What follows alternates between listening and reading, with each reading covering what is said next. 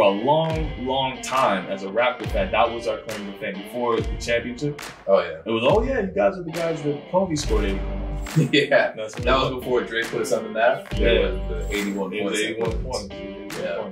That's a tough one to follow. That's a tough one to follow. 20, okay. Okay, okay, okay. He thinks he got Try it. to catch me howling at the moon.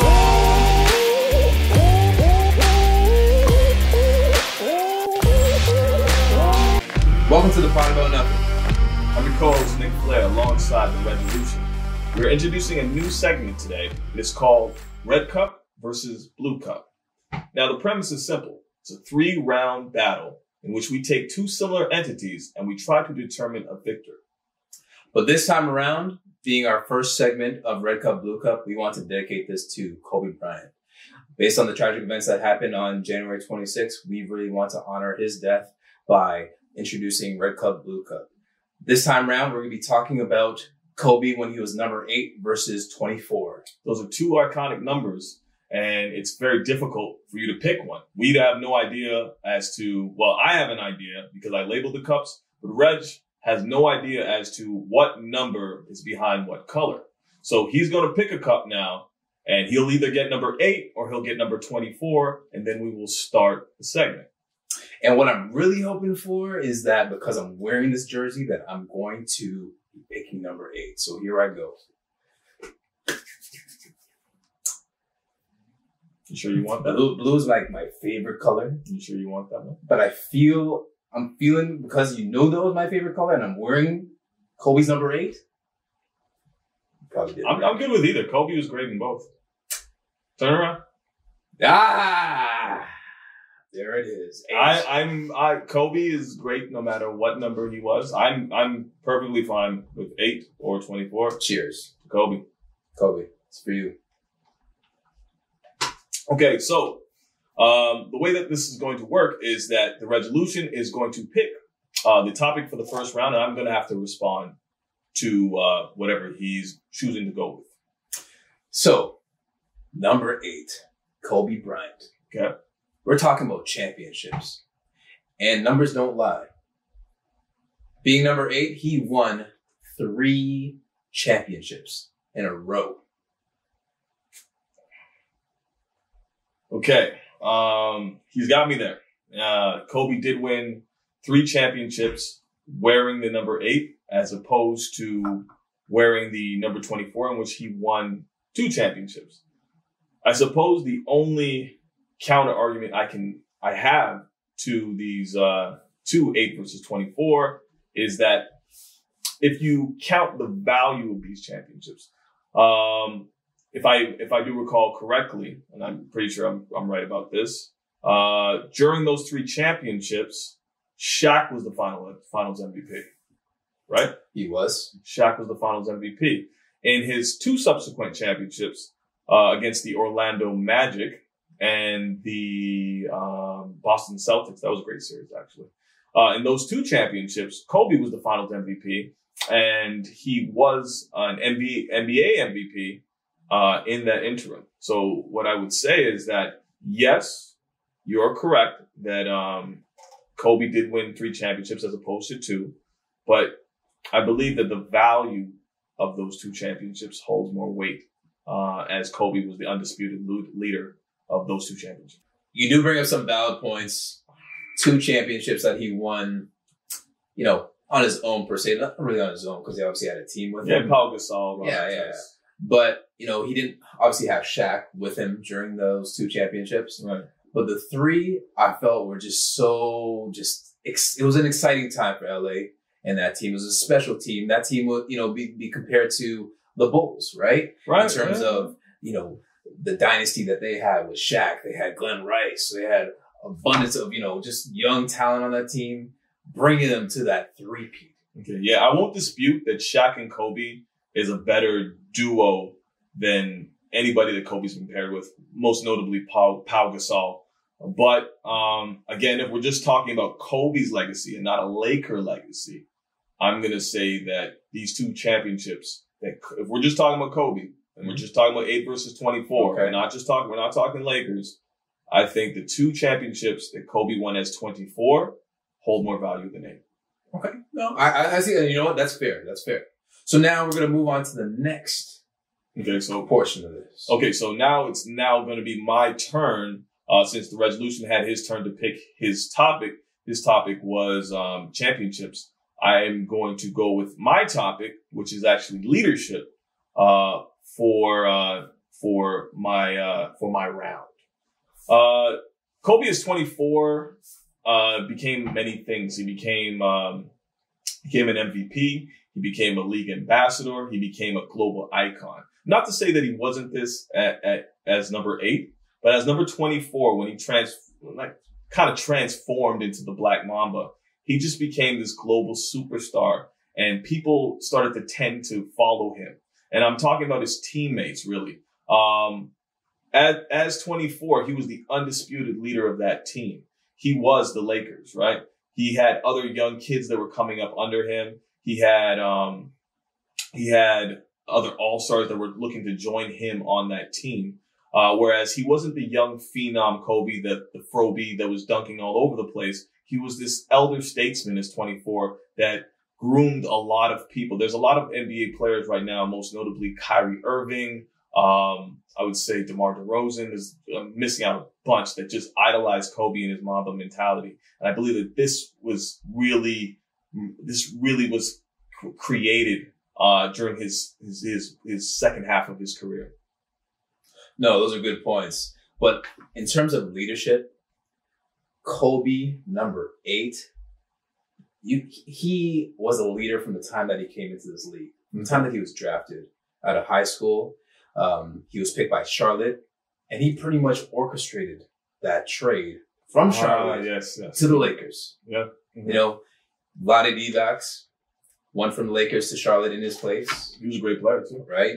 But you could tell from right, you know, right from jump, he knew exactly what team he wanted to be on, the dynasty that was going to form between him, himself, and Shaq.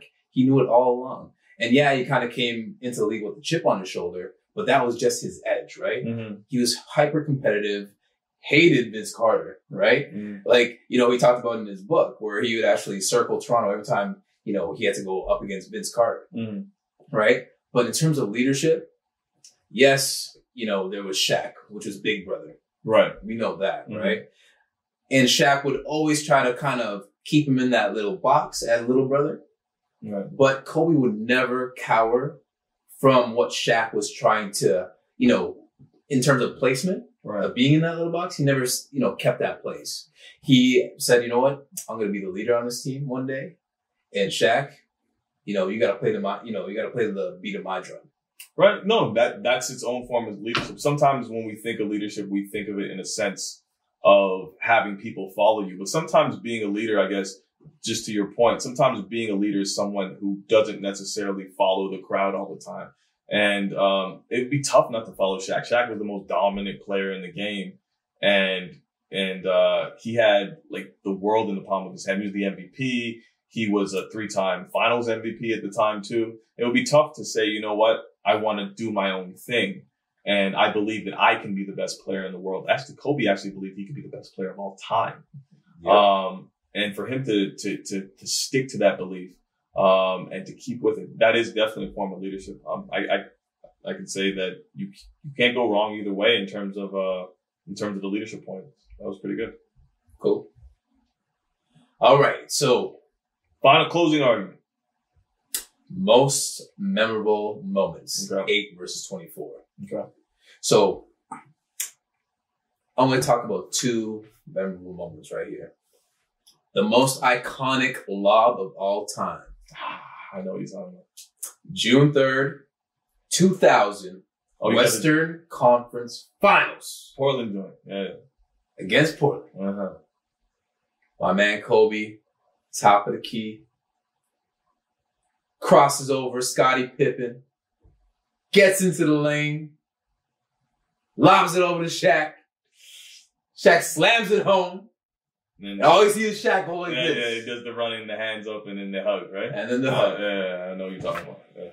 That's good. You got another one?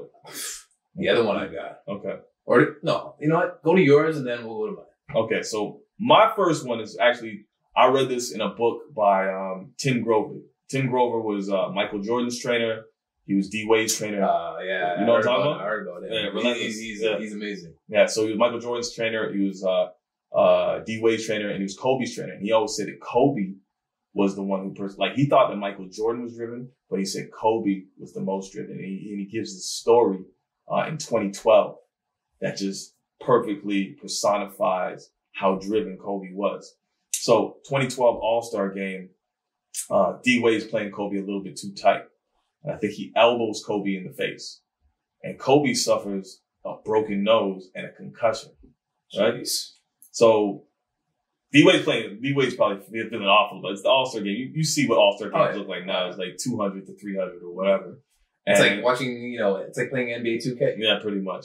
And uh and and, and D Wade's feeling bad because I guess he he was playing against his idol and he just wanted to show him up or whatever, whatever the whatever the case was. D Wade calls him up and he's just like, "Hey, Kobe, I'm real sorry." And then Kobe says, "Nah, I like that. I like that. Keep that. Keep that fire." And D Wade's like, "Okay, and see you later." And hangs up the phone, right? And Kobe didn't take any time off from the broken nose and the concussion. Instead, I don't know if you remember when Kobe was wearing the mask. Oh yeah. So. Kobe, so for a, for a brief time, Kobe, was, and he even had the black one. He looked like uh, looked like Batman or like Kato from the Green Yep. Hornet. And so he was wearing the mask. And he three days later he played the Heat, and the Heat at the time had LeBron, him, and and Bosh. Oh yeah. The Heatles. The Heatles, yeah. And Kobe came back and he just destroyed because D Wade was on him. And he just destroyed D Wade that game, and the Lakers took took that game from the Heat. So that's that's that's my Jeez, that's a, Yeah. man. That brings back memories for Yeah. sure. All right, my second most memorable moment. Ah, this one hurts, but I loved it so much. okay. What is it?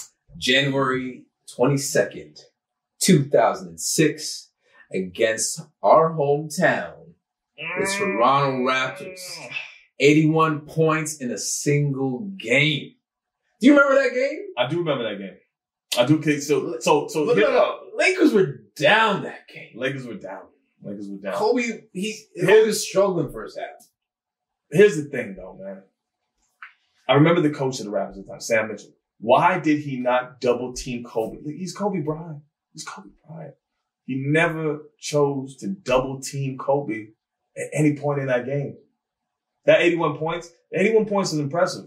But Sam Mitchell not double teaming Kobe Bryant. Kobe Bryant was hitting everything. Kobe Bryant, Everything. he was throwing it off his shoe, kicking the ball, goes in the basket. Second half, he just tore it up and just killed these guys. 81 points. They got, he had in this day and Yeah. age, we're not talking about Wilt days where Wilt scored the or, 100 or, points in or one game. we're not even talking about Steph, like, or the, the three point thing. He was doing it everywhere, right? Oh. He was going in, he was going out. Like, Kobe diced them up. And for a, for a long, long time as a Raptor fan, that was our claim to fame. Before the championship, oh, yeah. it was, oh yeah, you guys are the guys that Kobe scored 81 on. yeah. That it was before Drake put us on the map. Yeah. was the 81 It was points. 81 points. It was 81 Yeah. points.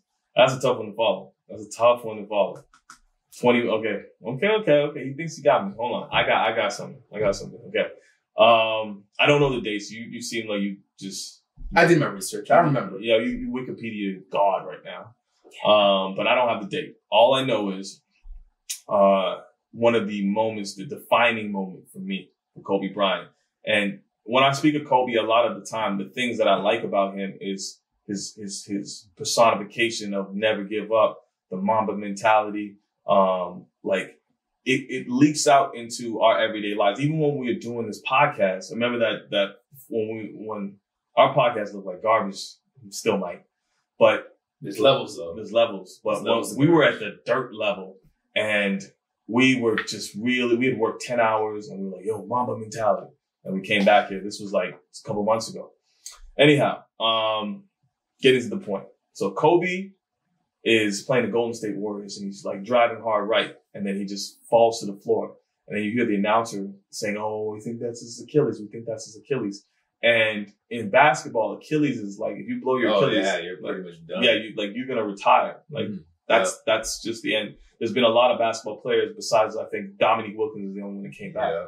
But um, when Kobe went down, like we've seen it this year with Kevin, like last year actually with Kevin Durant. When Kevin Durant blew his Achilles, he's not walking off under his own power. Nobody's walking off under their own power. Not only did Kobe walk off under his own power, so he blows his Achilles, falls to the floor.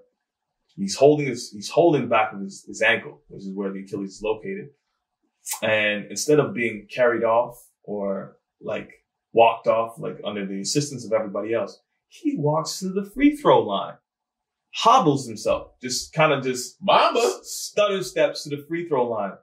And then he nails both free throws and then walks with under his own power to the locker room. Like to me, that's I've never like Yeah, that is- Nobody's that is, doing that is, that. that is an iconic. Nobody's moment. doing that. Is that is. nobody's doing. They'd be that. like, "Nah, just take me to the back room." Oh, you blow your. Achilles. We're done.